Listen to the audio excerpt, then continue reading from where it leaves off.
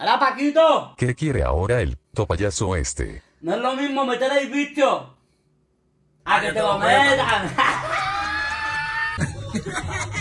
Hola a todos y a todas, cabecitas, pero ¿qué tal estáis? Madre mía, qué guapo. Hoy habéis venido muy guapos. Hoy sacamos el Workbook, Student Book, Page 6, 7 y ahí en esta página si lo comprobáis, efectivamente. Ahí es donde daremos historia de reggaetón. Cátedra sobre este año 2021. Para mí este año 2021 ha sido un año que ha sido la polla en cuanto a música. Hay que tener en cuenta que todavía está el tema del COVID, que ha habido mucha gente que no ha podido o que no hemos podido escuchar sus canciones en la discoteca, que no es la época ideal para sacar música y aún así yo creo que ha sido un muy buen año porque se ha sacado música de muchísima calidad y sobre todo que muchísimos cantantes han salido de su zona de confort y han sacado cosas increíbles. He preparado un tag con un montón de categorías, con un montón de, ganadores, de ganadoras y yo creo que va a ser un vídeo bastante guapo. Sé que estos vídeos los solemos hacer con expulsito, pero bueno, el otro día Pursito subió uno con Ibai, por lo tanto, pues yo voy a hacer el mío, que no pasa nada, pero digo, yo también quiero dar mi opinión. Vais a tener el vídeo de Spurs por aquí para que vayáis a verlo, así que vamos a darle caña con el día de hoy porque es chingón. Que por cierto, ya sabéis que este año estará haciendo un montón de perreolans, os lo habéis pasado muy bien, pero nunca hemos hecho uno presencial que podáis disfrutar vosotros y vosotras en directo. Pues estáis de suerte, porque este sábado en la Gamer G a partir de las 6 de la tarde estaré en el stand de Red haciendo un show, un perreolán. Habrá un montón de sorpresas, seguro que tendréis un montón de regalitos y sobre todo me haré fotos con quien haga falta. En el primer comentario fijado vais a tener todas las categorías para que podáis dar vuestra opinión. Que entiendo que hay mucha división de opiniones y si yo digo que mi cantante favorito es eh, Manuel Escobar, pues vosotros vais a decir, no, no, no, Duki. Pues ponlo tú. Cantante revelación. Cantante revelación, básicamente es un cantante que dices, hostia, yo no esperaba que este cabrón eh, fuera a dar el nivel que ha dado. Pues yo en esta categoría lo tengo bastante claro. Además, su álbum es uno a los candidatos de mejor álbum del año. Todas las veces que ha participado en canciones que son featuring, en canciones de muchísima exigencia a nivel mm, exponencia, para mí lo ha hecho de puta madre. Y para mí el cantante, artista revelación de este año se lo lleva Mora. ¿Por qué? Por canciones como esta.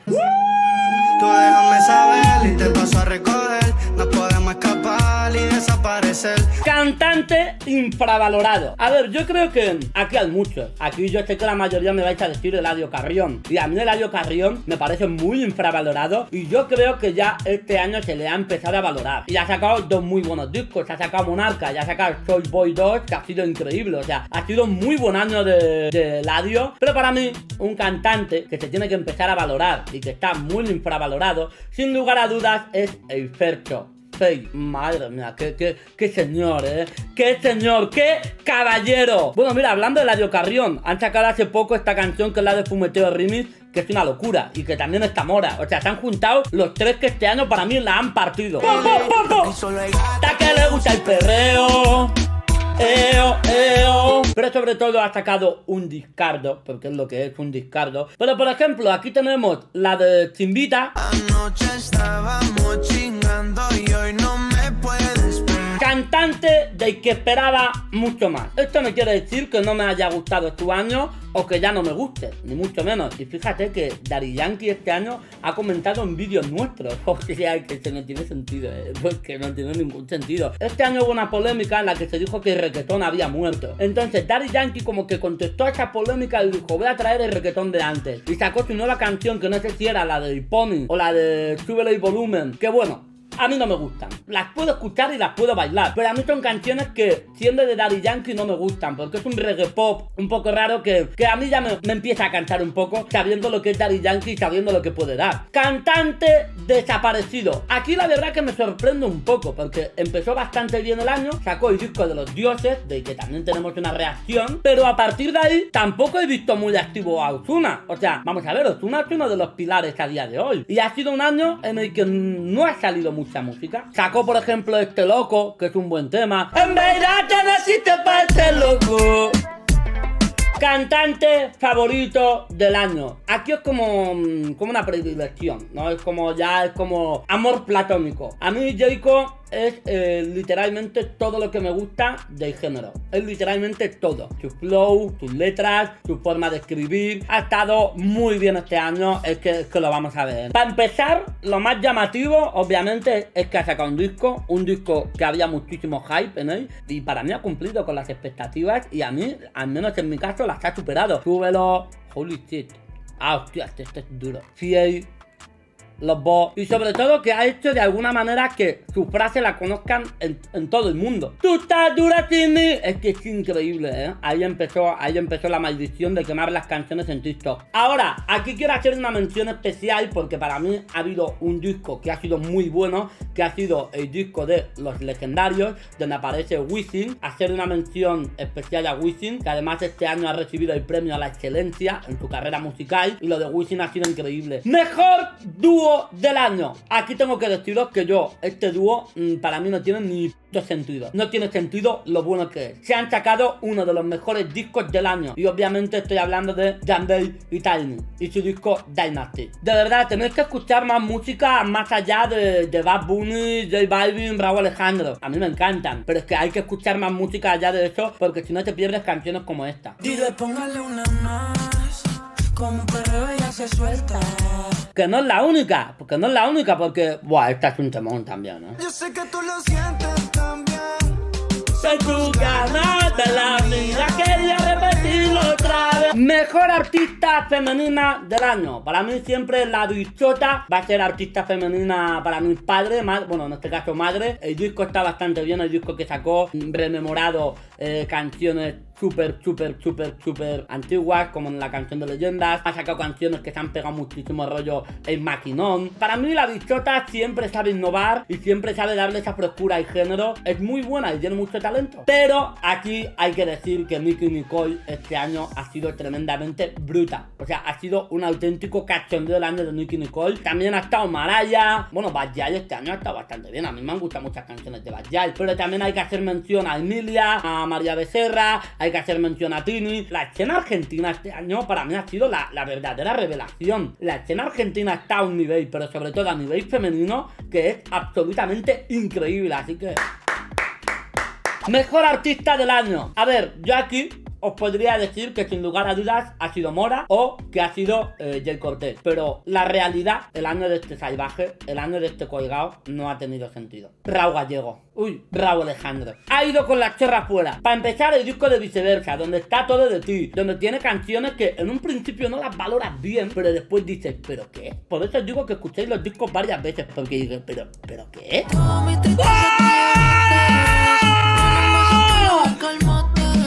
Y te voy a relajar. Y luego ya esta parte que. No, te fuiste.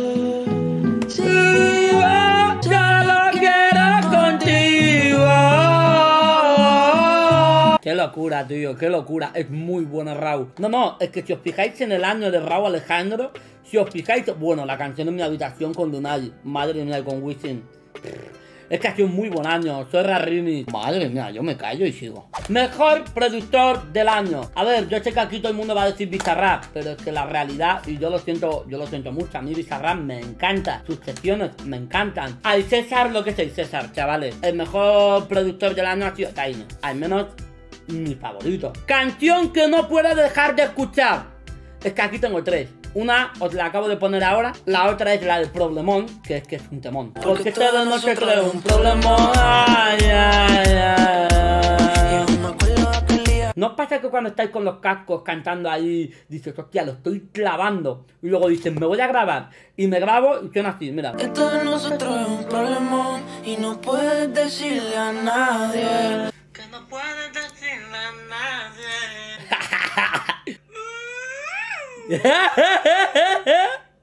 ¿Vas como rancho tú? Que no puedes decirle a nadie, porque todo no te trae un problema.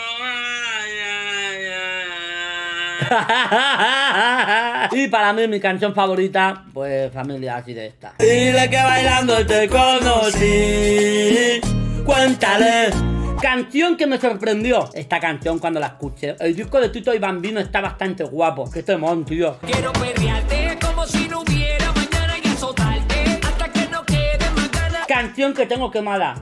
No la voy a poner porque la tengo quemadísima y eso es culpa de TikTok. Y obviamente es todo de ti. Ahora, que decir canción quemada y después poner canción del año, pero siendo objetivo, para mí está la canción del año. Obviamente es Pepa. Todas las fronteras que ha pasado, lo bien que está hecho y donde ha puesto el nombre de, la música latina, de la, del habla hispana, para mí esta canción es la canción del año sin duda.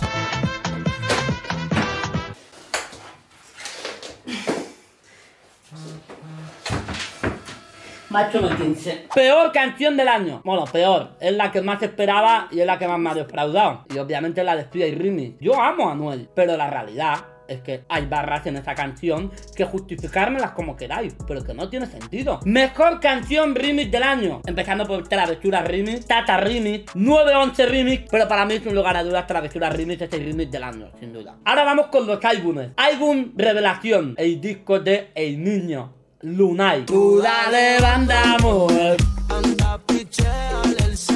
Qué locura, qué locura de tema. Ellos tienen que entender que tú eres mía y no de Bueno, todo nada con Anita, muy bueno, vudú. Hay palabras que no me has dicho, pero tú solo dices todito. Es que además está tan bien de confianza, es que lo hace tan bien en todas las canciones. Con ganas de más. Ya no sé lo que tú me hiciste.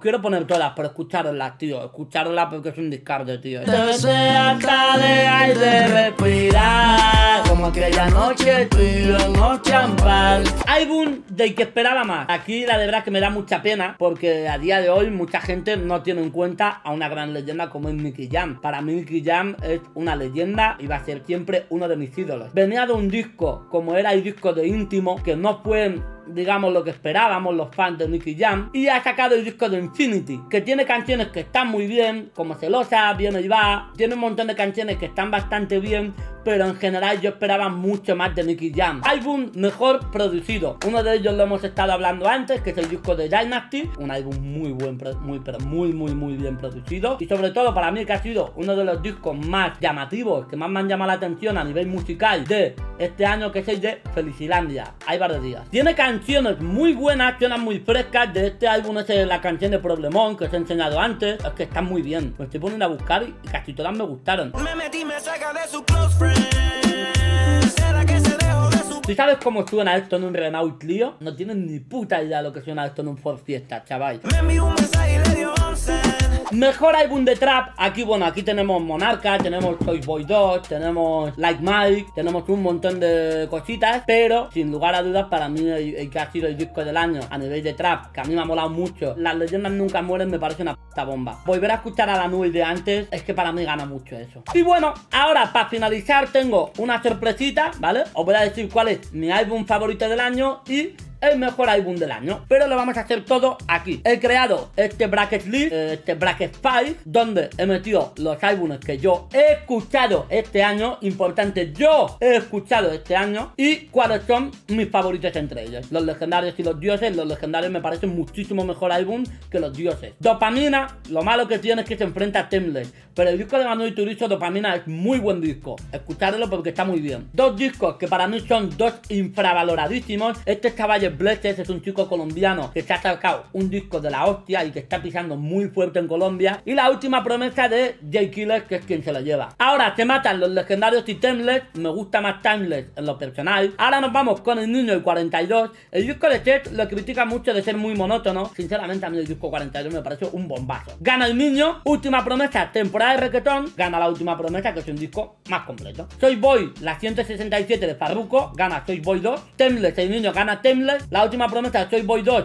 se lo lleva Soy Boy 2. Y por último, Temler, Soy Boy 2, pues se lo lleva Temler. Este duelo es épico, porque está Arcángel y Nicky Jam, que aquí hay un multiverso de, que si uno cría al hijo del otro cuando estaba no sé dónde. Pero para mí, eh, hablando del disco de Nicky Jam, como hemos hablado antes, esperaba mucho más. Pero es que el disco de los favoritos 2.5, muy loco. José, Felicilandia tengo que deciros que Felicilandia me mola mucho, pero lo que escuchaste ahora de José está bastante, bastante, bastante bien. Dynasty, las leyendas nunca mueren. Este duelo está muy guapo. Para mí es mucho mejor disco de Dynasty. El álbum de Karol G con primer día de clases.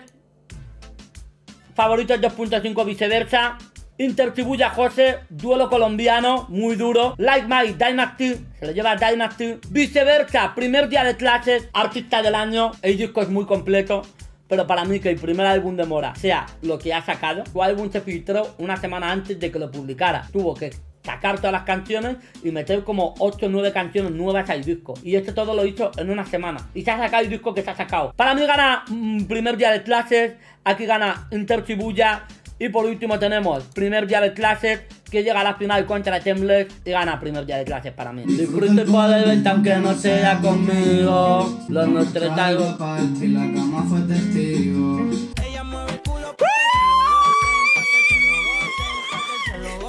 Bueno, bueno, bueno, te ha quedado un vídeo muy completo. Ya estamos a final de año, ya la semana que viene creo que ya es Nochebuena. Deciros que vamos a tener Perrolán tanto en Nochebuena como en Nochevieja. Aquí en mi canal de YouTube no, en el canal morado sí. Muchísimas gracias a todos y a todas. Cuando estaréis viendo este vídeo, que será el miércoles, imagino, igual yo estoy en el concierto de Jay Cortés, así que espero que lo disfrutéis. No quiero crear batallas ni nada, al fin y al cabo es un tag, simplemente es mi opinión. Dejadme vuestra opinión sobre lo que os gusta, sobre lo que he dicho sobre las canciones, los álbumes y sobre todo dejarme vuestro tag. Lo vais a tener en el primer comentario fijado y el canal de Walter Alejandro en la descripción. Un besito, hasta la próxima.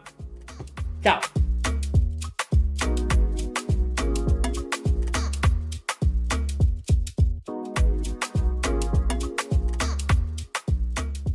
Si no es Jayco, es Jay Cortés.